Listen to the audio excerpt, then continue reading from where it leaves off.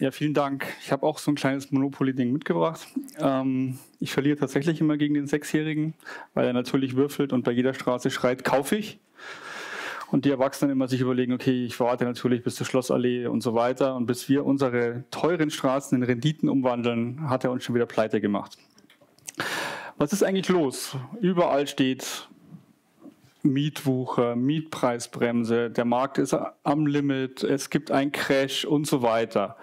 Was passiert hier eigentlich gerade am Markt? Und das ist das, was uns gleich ein bisschen beschäftigen wird. Meiner Meinung nach ist, kann ich Ihnen jetzt schon verraten, Crash gibt es keinen, ähm, sondern wir schauen mal ganz neutral auf den Markt, wie kann es ausgehen und meistens geht es ja sowieso gut aus.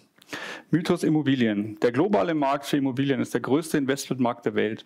Aber er ist auch unglaublich fragmentiert und unglaublich persönlich. Wir alle müssen wohnen, wir haben gar keine andere Wahl. Das heißt am Ende des Tages, wir beschäftigen uns jeden Tag damit und fast jeder hat eine Meinung dazu und das macht es unglaublich komplex und schwierig. Donner Reuschel ist ein sehr altes Institut und hat jedes Jahr sich zur Aufgabe gemacht, ähm, die Börsenkurse des Jahres zu veröffentlichen. Ich habe hier ein Exemplar aus dem Jahr 1955. Da sind dann so Werte drin wie Papierfabrik Dillenweiß, Parkbrauerei etc. etc. Ich würde mal behaupten, dass 80 Prozent der Unternehmen, die hier aufgelistet sind, die existieren in dieser Form nicht mehr.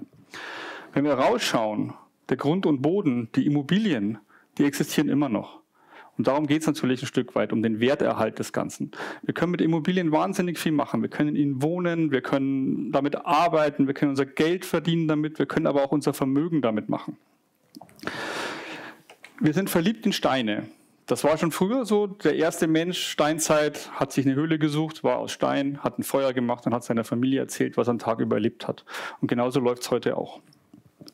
Ich habe mal eine Studie mitgebracht. Andere Leute können das viel besser ausdrücken als ich. Steigende Miet- und Kaufpreise am deutschen Wohnungsmarkt, aber auch in anderen Ländern haben eine Debatte über die Lage am Immobilienmarkt entfacht. Angesichts dieser kräftigen Steigerungen, vor allem in den vergangenen zwei bis drei Jahren, sind zunehmend Begriffe wie Mietwucher oder Preisblase im öffentlichen Diskurs zu vernehmen. Das ist alles sehr richtig. Das Problem an der Geschichte ist, das ist aus dem Jahr 2013. Das heißt, wir haben schon mal wieder 70 Prozent äh, Preissteigerung am Immobilienmarkt verpasst, wenn wir uns an diese Empfehlung gehalten haben. Das zeigt die ganze Komplexität des Themas. Einmal ist es mit viel Emotionen verbunden, das heißt, wir werden uns schwer tun, eine rationale Entscheidung zu treffen. Und auf der anderen Seite wollen wir natürlich Renditen haben mit den Investments, die wir tätigen. Problem ist, wir sind natürlich auf einem Preisniveau angekommen, das so ähm, dem meistens nicht mehr ermöglicht, auskömmlich zu investieren. In München haben wir noch Platz für 72.500 Wohnungen. Ich sage jetzt mal wir, weil es meine Heimatstadt ist, ähm, obwohl ich ja in Hamburg lebe. Ähm, wir werden aber bis zu 375.000 Menschen bis zum Jahr 2040 in, in München begrüßen dürfen. Das heißt, der Wohnraum wird immer knapper. Wir werden uns was einfallen lassen müssen. Die Stadt München hat keine weiteren Flächen mehr. Es besteht nur noch die Möglichkeit, nach oben zu bauen. Und da hat die Stadt auch eindeutig gesagt, das wird sie nicht tun. Wie kommen wir jetzt eigentlich zu den hohen Preisen? Zinsen, Money for Nothing, klar, ist ein wichtiger Faktor. Auf der anderen Seite haben wir ein relativ magisches Dreieck, was uns Probleme bereitet. Auf der einen Seite sehen wir, dass die, die Preise für Wohnimmobilien exorbitant gestiegen sind. Nicht nur in den Top 7 Städten, aber grundsätzlich kann man sagen, dass Top 7 Städte in, in Deutschland wirken wie Magneten. Und München ist der Supermagnet. Um die Stadt München werden wir gleich zeigen, passiert auch wahnsinnig viel.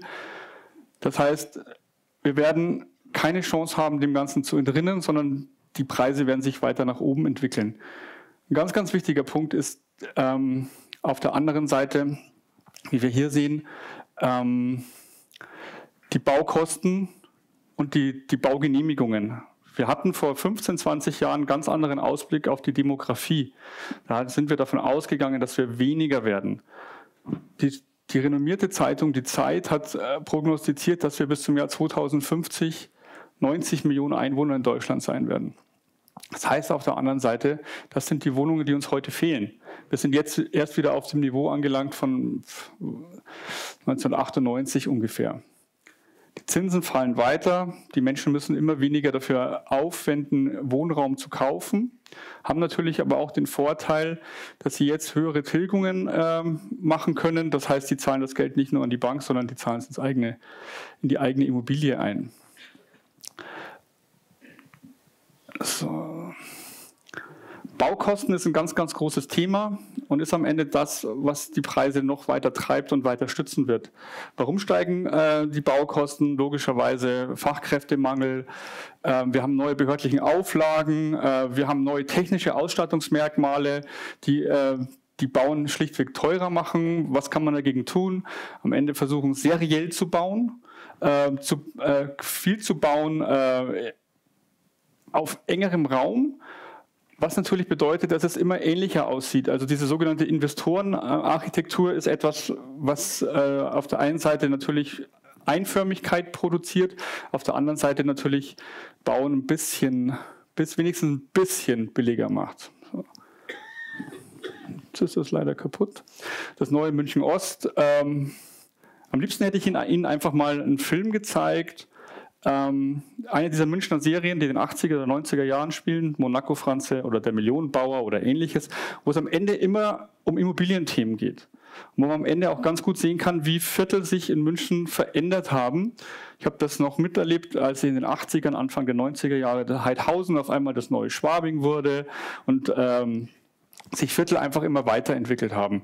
Münchner Osten, ähm, vielleicht eines der Gebiete, das am meisten davon profitiert hat, dass die Olympischen Spiele 1972 in München stattgefunden haben, weil die S-Bahn einfach dann in den Osten gekommen ist und Verkehrsinfrastruktur äh, ein immer wichtigeres Thema ist, wo, kann, wo soll ich investieren, wo kann ich investieren, wo kann ich wohnen, wie komme ich am besten in die Stadt.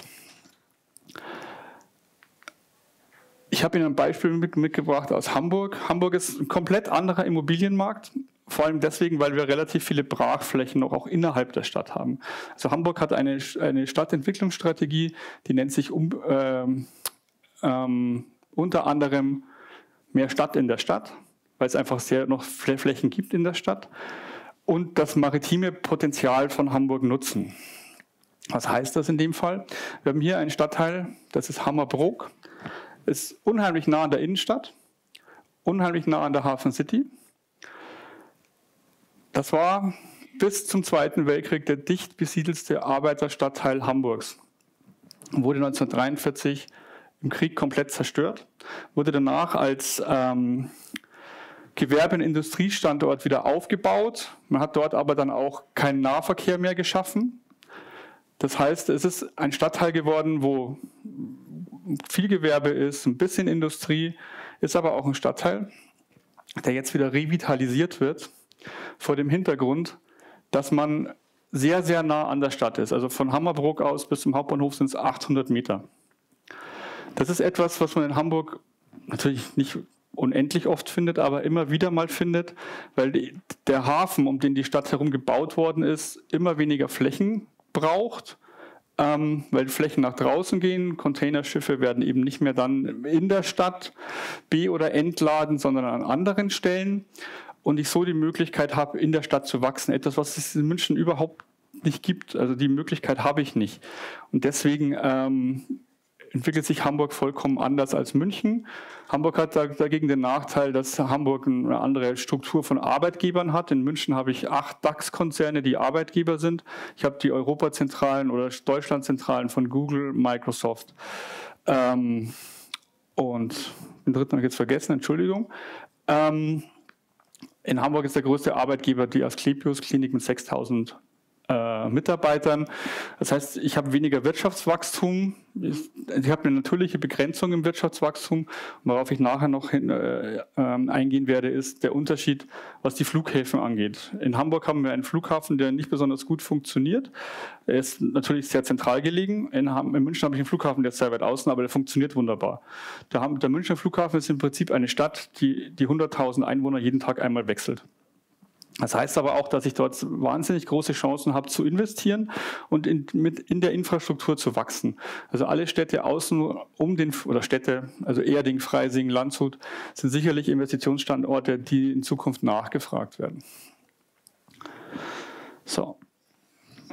die Karte, die habe ich mir geborgt von der Metropolregion München, zeigt relativ eindeutig, was hier passiert. Es ist natürlich alles nur das Positive aufgelistet, das ist ganz klar. Aber gibt's, so viel Schlechtes in München gibt es ja gar nicht. Ähm, jeder vierte Nobelpreisträger kommt aus der Metropolregion München. Die Stadt wächst, die, mit, die Region wächst. Es gibt wesentlich mehr Geburten als Todesfälle. In der Prognose haben wir beim jetzigen Einwohnerstand von 4,5 Millionen in der Metropolregion ähm, einen Zuzug von 525.000 Menschen zu erwarten.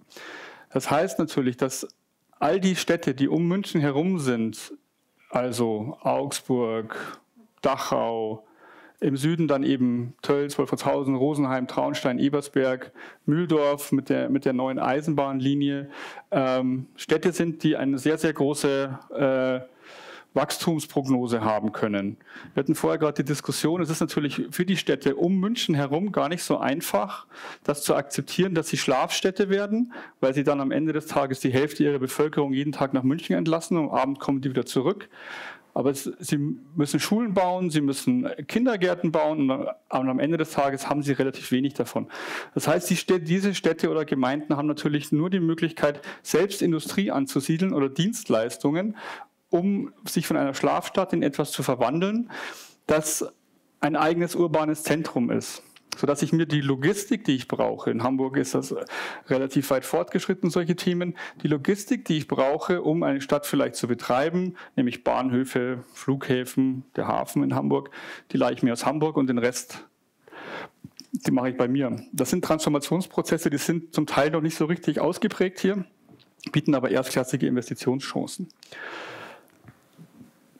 Wenn wir jetzt mal die Karte, wenn wir dann nach links, so links oben schauen, dann haben wir dann Städte, die sind jetzt hier nicht mehr drauf, wie Ulm zum Beispiel, die auch schon wieder im Einzugsgebiet von Stuttgart sind. Also auch ein, einer der Magneten in Süddeutschland, der rasant Mitarbeiter anzieht, rasant Menschen anzieht und am Ende des Tages auch einen großen Standortvorteil darstellen.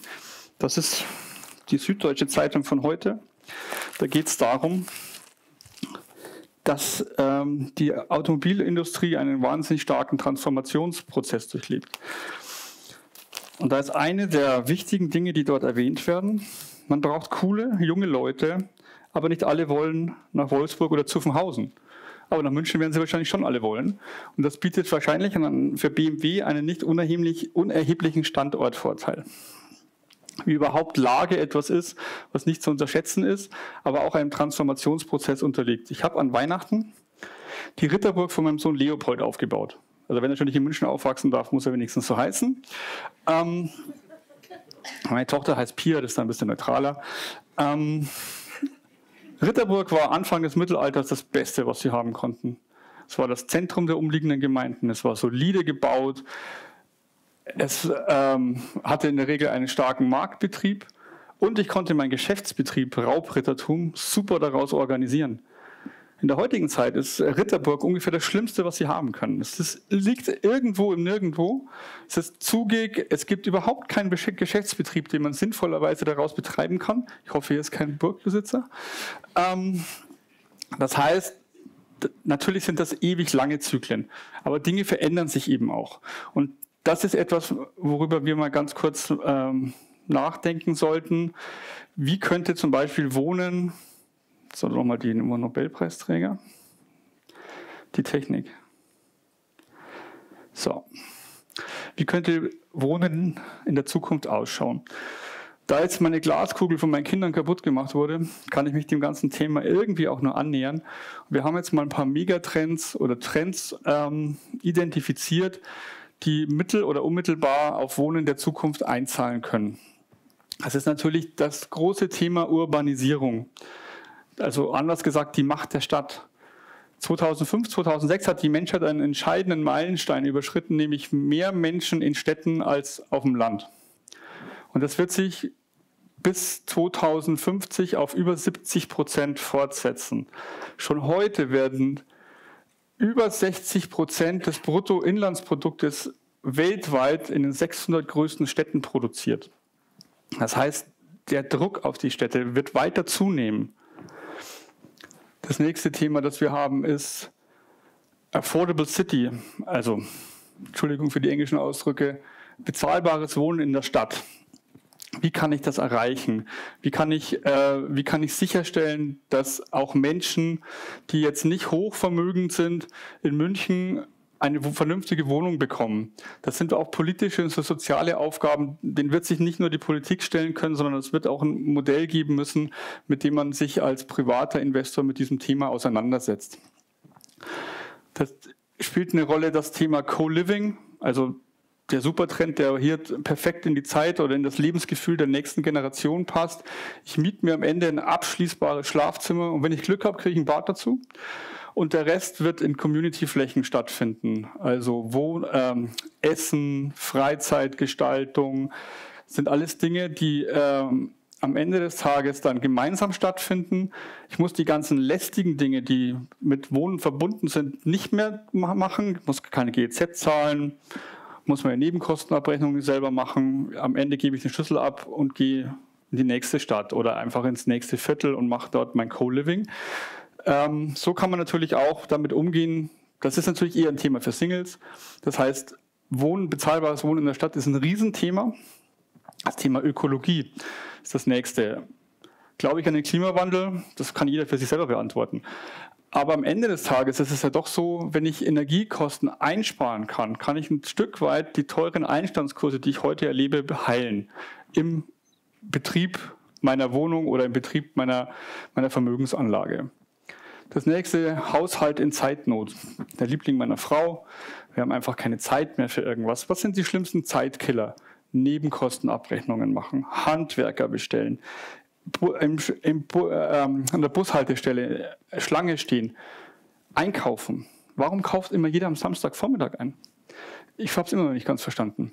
All diese Dinge kann ich jetzt in Community wohnen, in Services umwandeln, die mir zur Verfügung gestellt werden, nämlich dass dann eben meine, meine, Einkäufe, mein Essen und so weiter mir vor die Haustür gestellt wird, dass irgendjemand per App mir das abnimmt, dass ich äh, meine Nebenkosten abrechnen muss und so weiter. Das Thema Sicherheit zahlt natürlich auch auf das Thema ähm, Individualisierung und urbane Mobilität ein. Sicherheit ist etwas, ähm, was, was für uns unglaublich wichtig ist und was etwas ist, das auch Bauen verändern kann. Urbane Mobilität ist etwas, was ganz, ganz stark unsere Städte verändern wird. Momentan gehen wir von dem Trend aus, E-Mobilität, autonomes Fahren. Autonomes Fahren kann dazu führen, dass wir weniger Parkplätze in der Stadt brauchen, dadurch Flächen freisetzen. Wenn man mal ehrlich ist, ist der Besitz eines Parkhauses in der Innenstadt derzeit ja der absolute Jackpot. Ich zahle 250, 300 Euro im Monat nur für Parken in der Stadt. Das ist teurer als die Leasingrate eines Mittelklassewagens. Also stehen ist teurer als fahren. Der größte europäische Konzern Q-Parks, der europaweit Parkplätze betreibt, ich glaube, die haben 800.000, ist vielleicht sogar der Vorreiter, das wieder zurückzubauen, indem sie eben auch in Themen wie urbane Mobilität investieren. Die gesamten Parkplatzflächen in Europa für unsere Autos ist dreimal so groß wie, die, wie der Großraum Paris. Das sind alles Flächen, die man eventuell in der Zukunft besser nutzen kann.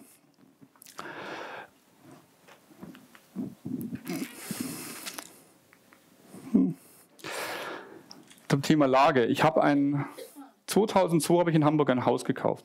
Da ich nicht aus Hamburg komme, meine Frau schon, hatte ich bei dem Thema noch weniger zu sagen als sonst. Das heißt, wir haben ein Haus einmal besichtigt, sind zum Notar gegangen, haben es gekauft, sind ein, natürlich nicht in einem Tag, ähm, sind abends eingezogen, wir sind ins Bett gegangen, um 6 Uhr in der Früh stehe ich im Bett und bin vollkommen entsetzt, weil ein Flugzeug über mein Haus fliegt ich habe gedacht, das Ding muss sofort wieder weg. Aber wer wird das wohl kaufen? 2002 in einem Markt, wo keiner was kaufen wollte und wo keiner unbedingt jetzt in der Nähe des Flughafens wohnen wollte. Heute bin ich ziemlich froh, dass ich da wohne, weil ich leider oft am Flughafen bin und rumfliegen muss. Ähm, auf der anderen Seite, was einen so ein bisschen ärgert, ist, der nächste Carsharing Point, wo ich Carsharing machen kann, ist halt noch zwei Kilometer weg. Das ist kein Grund, das Haus zu verkaufen. Aber es ist ein kleiner Baustein, der in Zukunft Leute dazu bewegen wird, Häuser zu kaufen oder eben nicht zu kaufen.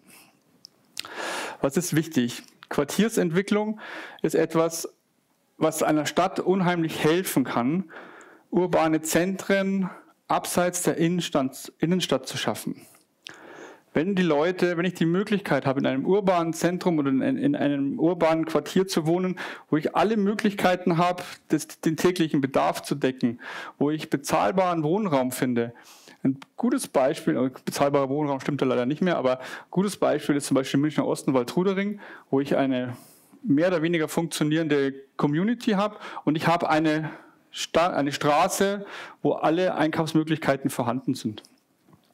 Das könnte das Problem, das wir heutzutage haben, nämlich ähm, mehr Generationen in Zukunft wäre schön, wenn wir das Wort Altenheim oder ähnliches nicht mehr benutzen müssen, weil wir die Möglichkeit haben, Leute länger in Wohnungen zu behalten. Für mich persönlich ist äh, Smart Living nicht, dass mein Kühlschrank jetzt irgendwann Essen bestellt, nur weil ich vergessen habe einzukaufen, sondern Smart Living ist was, wo mein, meine Umgebung, wo mein Wohnen sich mit mir verändert, wo ich flexible Flächen habe, wo ich äh, flexible Designs habe, wo ich technische Möglichkeiten habe, um möglichst lange dort zu wohnen.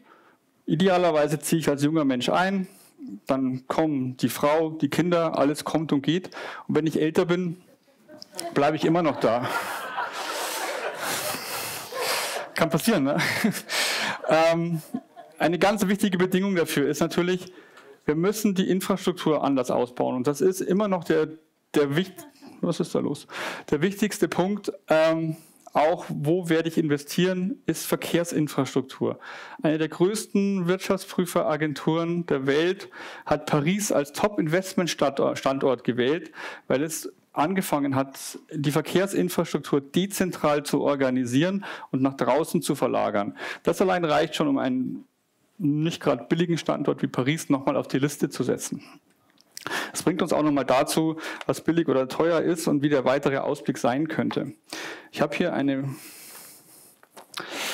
einen Zettel von einer Prognoseagentur, die deutschlandweit, also wir reden von ganz Deutschland, die zehn Regionen mit den besten Chancen im Bereich Wohlstand und soziale Lage gekürt hat. Ich würde das ganz gerne mal vorlesen, weil das sehr beeindruckend ist. Starnberg, München, Dachau, Ebersberg, Miesbach, Pfaffenhofen, Fürstenfeldbruck, Bad Tölz. Jetzt wird es ein bisschen einfacher, Erlangen und Fürth. Das ist erstens mal alles in Bayern und zweitens, acht davon sind in der Metropolregion München beheimatet. Ich schummel vielleicht ein bisschen, aber es ist ein Umkreis von 100 Kilometern. Das passiert alles hier und das, das wird diesen Standort eben noch weiter ähm, belasten und wird nicht dafür sorgen, dass wir die Möglichkeit bekommen werden, extrem viel billiger unseren, äh, unsere Wohnungen zu kaufen. Das ist, das ist tatsächlich das Schwabinger Tor, ähm, wo jetzt früher hier mal der Metro war, ich glaube, es war sogar eine Tankstelle hier, zwei Holiday-Inn-Häuser, hat man das hier geschaffen, ähm, ein Viertel oder ein kleineres Quartier Witzigerweise wirbt es damit, autofrei zu sein. So groß ist es eigentlich gar nicht, ich weiß gar nicht, wie das funktionieren soll. Also sie machen viel äh, Sharing-Projekte hier, Coworking, Co-Living. Ähm, wer macht das eigentlich die ganze Zeit? Äh, ähm, so, jetzt bin ich raus. Ähm, Coworking, Co-Living, ähm, Shopping, Wohnen, Hotel, alles ähm, auf einer Fläche. Es hat natürlich auch das Thema Leopoldstraße hier ein bisschen verlängert. In meiner Jugend, das ist zwar schon ewig lang her, aber hat die Leopoldstraße mehr oder weniger an der Münchner Freiheit aufgehört. Ja.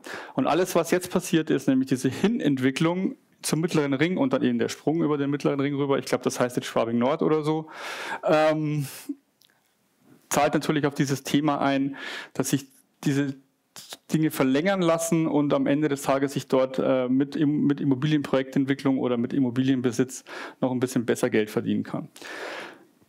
Was haben wir hier versucht darzustellen? Ähm, in einem Haus, in dem ein, ein Betreiber ist, in dem Fall eine Kita, die mit ihrer Fläche was anfangen können, sind die natürlich auch immer bereit, ein bisschen mehr Geld zu bezahlen. Das heißt, für mich als Immobilienbesitzer kann das sehr interessant sein. Wir würden so ein ich nenne das mal Produkt, ein hässliches Wort, gerne koppeln, dann ist da drüber halt ein Kinderarzt oder ein Yoga-Studio oder eben irgendwas mit Arzt, Logopäde etc. Und drüber sind dann Wohnungen. Idealerweise sind das Werkswohnungen für die Mitarbeiter, die in der Kita arbeiten, weil das ist ja natürlich das große Problem, wie kriege ich die Leute in die Stadt. Und das Thema Werkswohnungen ist etwas, was vor 20 Jahren komplett abgewählt wurde von Unternehmen und heute am Ende des Tages wieder, wieder etwas ist, was ganz, ganz stark dazu führen kann, dass, dass Menschen bereit sind, für Unternehmen zu arbeiten. Es gibt ja diesen War of Talents und da ist eben das Thema, wie kann ich Menschen helfen, ihr Leben zu gestalten, ein ganz, ganz wichtiges. Ich habe hier nochmal ein kleines Beispiel. Das ist die berühmte goldene Uhr. Die hat mein Großvater 1962 bekommen, nachdem er 25 Jahre lang unter Tage gearbeitet hat. Das ist eine sehr, sehr schöne Wertschätzung, aber für ihn selber wichtiger war noch viel mehr, dass er 40 Jahre lang in einer Werkswohnung leben konnte, dort seine Familie unterbringen und seinen Mittelpunkt gestalten. Das ist etwas, was wir heute vollkommen vergessen haben und was ein Thema wird, von dem wir persönlich glauben, also ich persönlich, Entschuldigung, wir persönlich gibt es nicht. Ich persönlich glaube, dass es wiederkommen wird, weil es ein ganz, ganz wichtiger Punkt ist, um Menschen an ein Unternehmen oder an eine Idee zu binden. Green Living hatten wir vorher schon mal ganz kurz angerissen, ist das Thema Ökologie. Wie gehe ich damit um? Wir, haben, wir sehen jetzt die ersten Geschäftsmodelle, die sich ganz, ganz stark damit beschäftigen. Wie sehen Fassaden aus? Äh, gibt es durchsichtige Solarpanels, die ich als Scheiben benutzen kann? Wir haben das erste Mal gesehen, dass äh, jemand einen Fußboden verbaut hat, der Energie zurückgewinnt aus meinen Fußtritten. Ähm, das Thema autarke Quartiere ist ein Thema, das immer mehr kommen wird. Ähm, wann gibt es die erste Wasserstoffstadt, die sich ähm, über Wasserstoff äh, die Energie äh, gewinnt? Berlin ist da einer der Vorreiter. Das kann man natürlich sagen, da wird er nie kommen, das kann gut sein. Ähm, aber das ist mit Sicherheit etwas, ähm, was uns helfen wird, umweltschonender mit der ganzen Thematik umzugehen. Wir haben uns da natürlich jetzt ähm, ein Thema gewidmet. Das sind die Holzbausteine von meinem Sohn. Und da baut er sich immer Türme. Holz ist ein wunderbarer Baustoff, den wir jetzt vergessen haben oder der in Vergessenheit geraten ist. Holz ist regenerativ, es wächst nach, es lässt sich modular verbauen. Es ist natürlich ein bisschen teurer in der Produktion, aber dadurch, dass ich schneller bauen kann und dass ich die Möglichkeit habe, viele Teile vorzufertigen, ähm, habe ich die Chance, tatsächlich ähm, mit was anderem als mit reinen Steinen zu bauen. In München, ganz schönes Beispiel, ist ja gerade die größte, weltweit größte Siedlung aus Holz entstanden. 573 Wohnungen, glaube ich, in der Prinz-Eugen-Kaserne. In Hamburg entsteht tatsächlich ein 19 Stockwerke hoher Tower in der Hafen City, direkt am Wasser, der nur aus Holz besteht sind 180 Wohnungen. Ich glaube, das ist als Investment relativ geeignet. So. Wie gehen wir jetzt mit dem Thema Stadtentwicklung in München um? Wir sehen natürlich schon, dass die, dass die, die Stadtregierung sehr, sehr viele Programme startet, die letzten Flächen ausnutzt. Am Ende lässt es ja auf drei Sachen reduzieren. Wir haben die Umnutzung, von Immobilien, wobei das auch sehr beschränkt ist, weil die, die, die Flächen, die jetzt sagen wir mal von der Bundeswehr genutzt wurden oder anderen halt auch schon wieder weg sind. Wir haben das Thema Nachverdichtung im Bestand, das ist sicherlich München sehr geeignet, weil 40 Prozent der Immobilien, die wir in München haben, zwischen 1950 und 1980 gestaltet sind, da ist äh, entstanden sind, da ist flächenmäßig sicherlich noch ein bisschen was zu holen. Und wir haben das Thema Umland von München, wo wir ähm, neue Siedlungen sehen oder wo wir einfach auch sehen, dass die Bautätigkeit Abhängigkeit sich verstärkt. Kann man mit Immobilien Geld verdienen? Wir sagen ja, ganz klar. Es geht nur um was anderes. Es geht eher um Werterhalt statt Zinsersatz und es wird wesentlich komplexer, als es früher war. Also, dass der Leo mit Monopoly alles gewinnt, ich glaube, das äh, wird sich in der Realität nicht mehr so darstellen lassen, weil einfach die Einstiegspreise hoher sind. Die Stadt Amsterdam hat seit 1650 ungefähr ähm, über eine Straße Unterlagen bis heute. Daran kann man gut ablesen, wie sich Immobilienpreise entwickelt haben. Wenn man das jetzt inflationsbereinigt und währungsbereinigt sieht, wie hoch ist die Durchschnittsrendite ungefähr? Hatte ich gehofft, das sind 1,2 Prozent. Das heißt, es ging eigentlich immer schon um Werterhalt. Es ging immer weniger darum, ähm, tatsächlich Dividenden oder ähm, äh, Zinsersatz aus, meiner, aus meinen Immobilien rauszuholen. Ähm, wie kann ich investieren? Wir haben natürlich das ganze Thema jetzt Direktinvestment. Ich kann mir Wohnblöcke kaufen. Ich kann mir vielleicht eine Zwei-Zimmer-Wohnung kaufen. Ähm, Direktinvestitionen. Wir haben das Thema Crowdfunding. Wir haben das Thema geschlossene Fonds, Mezzanin. Mezzanin ist ein Thema, das sich wunderbar dazu eignet, indirekt in Immobilien zu investieren, über eine Inhaberschuldverschreibung oder ähnliches, eben Eigenkapital ersetzende Mittel. Wir haben das breite Spektrum von Immobilienaktien. Es gibt Dutzende von Immobilienfirmen, die gelistet sind, ähm, die in verschiedene Strategien investieren, Logistik, Wohnen, Pflege etc. Wir haben das Thema Nachverdichten im eigenen Bestand. Das ist ein Thema, das ist in München wahrscheinlich nicht mehr so interessant ist. Aber in Hamburg ist es tatsächlich so, dass wir, dass Grundstücke in der Regel relativ groß sind und Grundstücke auch ähm, die Möglichkeit haben, 30 Prozent der Grundfläche zu bebauen. Das ist fast nirgendwo ausgenutzt. Das heißt, man sieht ganz viel diesen Waldtrudering-Effekt, dass ich irgendwann mal, ich hatte mal ein großes Grundstück, dann habe ich noch drei Reihenhäuser reingebaut und dann ist es halt kleiner geworden. Aber ich habe meinen eigenen Bestands, äh, Bestand genutzt. Investitionen in die, in die Baubranche ist ein Thema, was ich versucht habe, zu, dass es eben neue Technologien gibt, die interessant sind, die eben auch eine gewisse Dynamik haben und äh, die das verändern, wie wir über Immobilien denken äh, oder was wir mit ihnen machen können. Das ganze Thema ist sehr, sehr komplex. Es ist immer komplexer geworden. Ähm, es ist immer schwieriger, tatsächlich auch ähm, richtige Objekte zu finden. Der Trend ist aber schon eindeutig der, dass man sagt, okay, wir gehen jetzt von einem sehr, sehr hohen Niveau aus, aber wir werden auch nicht mehr auf das Jahr 2010 zurückfallen. Es wird sich vielleicht ein bisschen abflachen. Es wird sich, äh, äh, wird sicherlich nicht immer die Steigerungsraten aus dem Jahr 2017, 2018, 2019 geben. Aber ich sehe, wir sehen jetzt nicht die Möglichkeit, dass die Preise sich massiv fallen. Zumindest nicht in den, in den großen deutschen Städten und in München sowieso als Supermagnet eigentlich gar nicht. Ähm, welche Möglichkeiten habe ich sonst noch zu investieren? Ähm, klar, Frankfurt, Stuttgart. Das sind äh, äh, Themen, die, die für jemanden aus München durchaus interessant sein können. Ich finde Hamburg als Investitionsstandort persönlich sehr, sehr attraktiv. Die Städte außenrum ebenso, Hannover, äh, Lüneburg, Flensburg etc. Grundsätzlich ist es so, ich bin jetzt hier den ganzen Tag da, ansonsten bin ich sowieso immer hier für Sie. Ähm, ich würde mich wahnsinnig freuen, wenn wir, wir haben draußen einen kleinen Stand, wenn, wenn ein paar Leute zusammenkommen und wir uns einfach mal darüber austauschen, wie sehen andere den Markt? Es ist ja, es muss überhaupt nicht so richtig sein, es muss nicht so kommen. Es ist das, was wir aus den Daten rauslesen und wie wir die Zukunft sehen. Vielen Dank.